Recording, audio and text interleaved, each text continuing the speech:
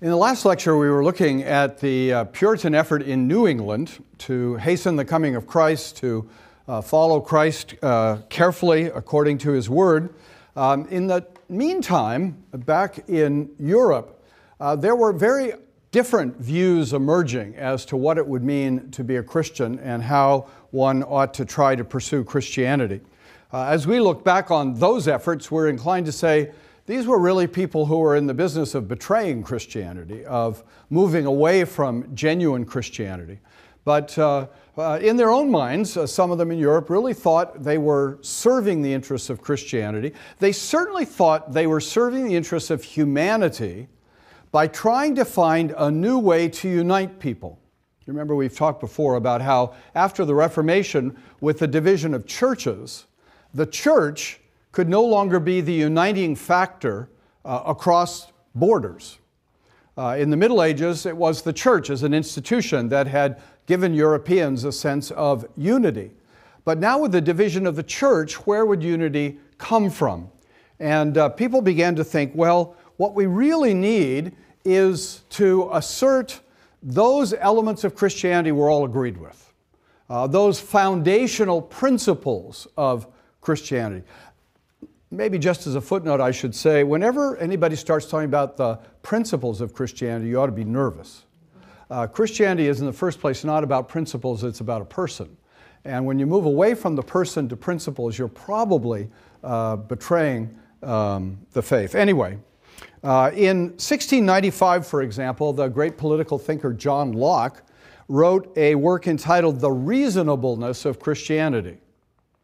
And uh, in that, he was uh, claiming to defend Christianity, but also to talk about how uh, reason can lead us to many of the conclusions that Christianity comes to, and those reasonable parts of Christianity can unite us all on a political uh, as well as a uh, cultural level.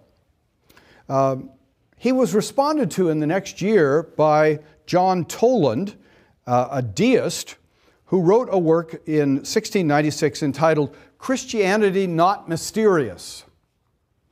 Uh, and there he was basically arguing that the really important part of Christianity is the part we could learn by reason without revelation. Uh, that we don't really need revelation, we don't really need the Bible. Uh, but Christianity, in its principles, is so uh, humane and so reasonable that we can come to those principles largely on our own. And what we see happening here is a movement away from biblical religion uh, in the direction of a kind of humanism, a kind of appeal to humanity, and increasingly moving towards uh, the notion that man is the measure of all things. That it's human beings without revelation from God uh, who can arrive at the fundamental ethics that need to bind us all together. And um, there was continuing debate as to uh, the value of the Bible, and some people said it's valuable but not necessary, or it's necessary to, uh, to fill in some aspects of religion but not necessary for the foundations of society. Uh, a whole new world of discourse is taking place. And um, it would lead on then in the 18th century to a movement that has been known to history as the Enlightenment. Uh, and uh, again, in the Enlightenment, there were varying attitudes towards Christianity. Uh, some in the Enlightenment would still call themselves Christians, would still say that Christianity is useful or even important, but increasingly, amongst leaders of the Enlightenment, particularly in France, uh, there was a more and more radical notion that really Christianity is a negative in the modern world. Now we have to remember that in France, uh, in the 18th century, uh, it was the Roman Catholic Church that was firmly in control. And the Roman Catholic Church was rich and powerful and tightly tied to the monarchy and the aristocracy in France. And so, as the emerging Enlightenment and uh, its leading thinkers uh, looked at the French situation, uh, they saw a in their mind, corrupt monarchy linked to a superstitious church. And that's part of what tended to make many of the French philosophes, as they were known, um, many of those French thinkers uh, rather anti Christian, certainly anti church, anti superstition. Uh, what human beings need to move forward is to be liberated from all of the superstitions that have bound us. Now, the Enlightenment was a, a very vital movement. It, it took uh, different manifestations in different countries. It was, as I said, more radical in France, uh, less radical in some ways in England, uh, less radical in some ways in Germany. Um, but it's, it's an, a, a, very important movement because it will uh, lay the foundations of the growing uh, attack, or at least the growing alienation of many of Europe's most prominent thinkers in the 18th, 19th, 20th century away from Christianity. And so when we think about the secularization of the West, uh, when we think about uh, growing anti Christian sentiment in the West, uh, as it comes to expression over time in many different forms in the 19th and 20th century, as well as in the 18th.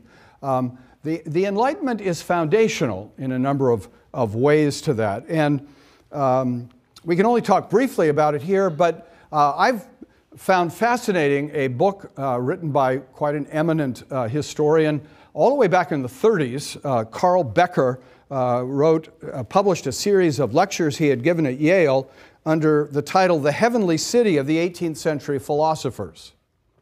And it's just a little book, very readable, very interesting, very controversial back then and still today.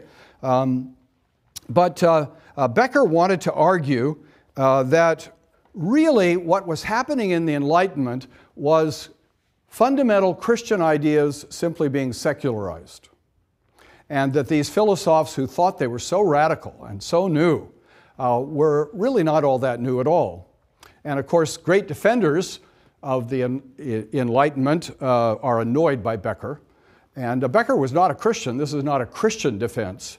Uh, but it's very interesting what he writes. And, and I, I, think it summarizes for us in a number of ways what um, the Enlightenment was all about. Becker wrote, if we examine the foundations of their faith, that is the faith of the philosophers, and they'd said, they would have said, we don't have faith, we have reason. But I think Becker's right. Um, they are, in many ways, uh, expressing a faith commitment.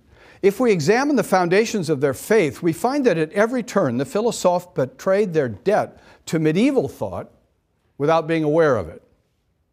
They denounced Christian philosophy but rather too much after the manner of those who are but half emancipated from the superstitions they scorn. They had put off the fear of God, but maintained a respectful attitude toward the deity. They ridiculed the idea that the universe had been created in six days, but still believed it to be a beautifully articulated machine designed by the Supreme Being according to a rational plan as an abiding place for mankind. The Garden of Eden was for them a myth, no doubt, but they looked enviously back to the golden age of Roman virtue, or across the waters to the unspoiled innocence of, the, of an Arcadian civilization that flourished in Pennsylvania. They renounced the authority of church and Bible, but exhibited a naive faith in the authority of nature and reason. They scorned metaphysics, but were proud to be called philosophers. They dismantled heaven, somewhat prematurely it seems, since they retained their faith in the immortality of the soul. They courageously discussed atheism, but not in front of the servants. They defended toleration valiantly, but could with difficulty tolerate priests. They denied that miracles ever happened, but believed in the perfectibility of the human race. We feel that these philosophers were at once too credulous and too skeptical. They were victims of common sense. In spite of their rationalism and their humane sympathies, in spite of their aversion to hocus pocus and enthusiasm and dim perspectives, in spite of their eager skepticism, their engaging cynicism, their brave youthful blasphemies, and talk of hanging the last king in the entrails of the last priest, in spite of it all, there is more of Christian philosophy in the writing of the philosophe than has yet been dreamt of in our histories. Uh, here's, a, here's a brilliant challenge, uh, and you can understand why any defender of the Enlightenment would really be annoyed with Becker. Um, a brilliant challenge to say Enlightenment thought in a lot of ways is just a Christian heresy. Uh, you've pirated a lot of what Christianity teaches and believes um, without giving credit to God. And I, I, particularly like his point that they didn't believe in miracles, but believed in human perfectibility. Uh, that's a pretty miraculous thing to believe in if you've had much experience of the world. Now, one of the things Becker does um, is uh, suggest that one of the ways of knowing a time and a culture is to find the key words of that time and culture. And he offers some examples of that. I, th- I think it's a, an interesting idea, and uh, let, let me read some of what he's written here. Uh, in the 13th century, so at the, the high point of the Middle Ages, in the 13th century, the key words would no doubt be God, sin, grace, salvation, heaven, and the like. In the 19th century, key words matter, fact, matter of fact, evolution, progress. In the 20th century, now he's writing in 1932, so there wasn't a lot of 20th century yet, so early 20th century. In the early 20th century, the words would be relativity, process, adjustment, function, complex, as in you have a complex. Uh, he's pretty right on, I think, especially about the, the early 20th century. Now he comes to the 18th century. What would be the key words? He says the words without which no enlightened person could reach a restful conclusion were nature, natural law, first cause, reason, sentiment, humanity, perfectibility. Although these last three were really only for the more tender minded, perhaps. Um, but, but here I think he, he has really aided us by, by capturing how an age is dominated by, by certain ideas and certain ideals and certain slogans. Uh, we might have an interesting session to brainstorm about uh, what are the words that uh, most dominate our, our current uh, discussion and vocabulary. Um, but he's given us real insight here into what is going on in, uh, uh, in the Enlightenment. And he comes up then with an Enlightenment creed um, the essential articles of the religion of the Enlightenment, now see, they would have objected that. They're not a religion, they're, they're just a reasonable point of view. But I think he's right. It's a religious commitment these Enlightenment people have. The essential articles of the religion of the Enlightenment may be stated thus one, man is not natively depraved. So here's an assault on an essential Christian teaching. Two, the end of life is life itself, the good life on earth, instead of the beatific life after death. Three, man is capable, guided solely by the light of reason and experience, of perfecting the good life on earth. Four, the first and essential condition of the good life on earth is the freeing of men's minds from the bonds of ignorance and superstition and of their bodies from the arbitrary oppression of the constituted social authorities. So, what, what keeps us back uh, from the perfect life on earth? Not ourselves, not our natures, certainly not our sinfulness. What keeps us back is superstitious churches and oppressive governments. Now, in that creed, don't you see sort of the agenda that is going to guide a great deal of 19th and 20th century thinking. Um, it is not too much to say that Karl Marx was very much a son of the Enlightenment in a lot of ways. Karl Marx really believed that we could establish a perfect society if we could only get rid of those oppressive structures, economic, social, political structures that hold people back. Uh, in, a, in a sense, Karl Marx was a radical optimist. And I think that's why he attracted lots of people to follow him. And of course, Karl Marx uh, was looking at a world in which there was a lot of injustice, a lot of oppression. That's also part of what made his vision attractive. Uh, but here, a foundation is being laid in the Enlightenment thinking of the 18th century that is going to have a huge impact on the development of Western thinking uh, for the next three centuries, we could say. It's very much with us uh, today. I'm, I, I always cringe when I hear an American politician say, I believe in the essential goodness of the American people. And everybody applauds like mad. Well, I would like to say today, I do not believe in the essential goodness of the American people. Uh, I believe in the essential depravity of the American people and every other people. Uh, that's the problem that we face. Uh, I was looking at um, President Lincoln's um, uh, first regular proclamation calling for Thanksgiving services in America. He called for it in the middle of the Civil War in 1863. And uh, in that proclamation, he says, one of the things we have to do is to be thankful to God, and another thing we have to do is to repent for our sins before God. Now, can you imagine a president today suggesting that we as a people have to repent before God for our national sins? Um, I believe in the essential goodness of the American people. That's the creed that uh, people want to hear today. It's born of, of thinking that began to replace Christian thinking uh, way back in the 18th century and was, uh, was very, very important. But you see, it's, it's born of a de- desire to find something that will unify us all. Um, let's not, let's get over the battling creeds. Let's get over the wars of religion. Uh, let's get over all of the turmoil that has been caused uh, in defending various religious visions, and let's just use our reason. Let's find out what natural law is. You can see why it would appeal to a lot of people. Uh, let's make this life better than, rather than just thinking of the life of the world to come it appealed uh, to a lot of people. And um, uh, it's very important then, uh, not only uh, for the 18th century itself, but for the world uh, in which the church would have to function in the 18th, 19th, and 20th century, an increasingly hostile world, or at least an increasingly hostile world in terms of the intellectual leadership of that culture. Uh, there would still be robust religious life, but in a world where many of the leading thinkers of that society, those various societies in Europe and then later in America, would be uh, hostile uh, to the church.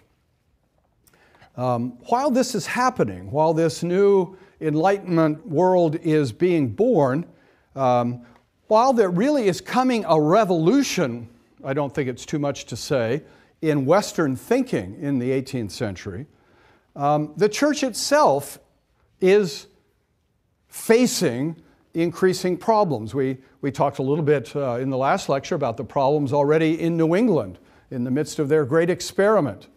And uh, it led them to try to compromise in various ways. So that as early as, as 1662 in New England, um, they were so concerned about church membership that they came up with an idea called the halfway covenant.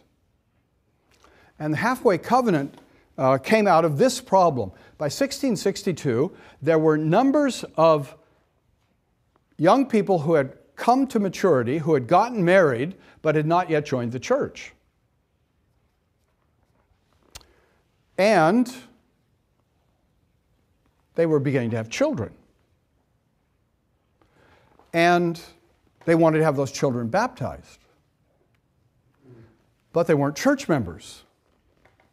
They hadn't, as the Puritans would have said, owned the covenant. They hadn't become members of the church. And so, according to traditional Reformed church practice, you cannot have your children baptized if you're not a professing member of the church. But these, these people were regular church attenders. They were leading outwardly moral lives. They appeared to agree with Christian doctrine. And if they didn't get their children baptized, those children, when they grew up, wouldn't be able to vote. There's always a social economic dimension to life. And so the ministers were under tremendous pressure. What are we going to do about this? They came up with this idea of a, the halfway covenant. If you're baptized, you're halfway in covenant with God. Not really. But we're going to allow baptized members of the church to present their children for baptism. And that will keep us all as a nice family in the church. It was really a major compromise of traditional um, practices. And then, one of the prominent ministers of the 18th century, late 17th, early 18th century, Solomon Stoddard, Solomon Stoddard said, You know, maybe these baptized members who haven't really professed their faith publicly and become public members of the church, maybe we ought to let them come to the Lord's Supper because the Lord's Supper could be a converting ordinance. Maybe they'll get converted by coming. So now that the doctrine of baptism has been compromised by allowing baptized members to present their children for baptism, and now the Lord's Supper is being compromised, all in the interest of trying to keep the whole society in the church and desperate to find a way to encourage true religion. So we have all of these efforts, you see, creative efforts, one might say revolutionary efforts, to find a Christianity that's going to work in an increasingly new world. Uh, the new intellectual world of Europe, but also the, the new world of America. Uh, all sorts of pressures coming to bear on the church, and uh, we'll have to look at more of those pressures and how they were dealt with next time. Thank you.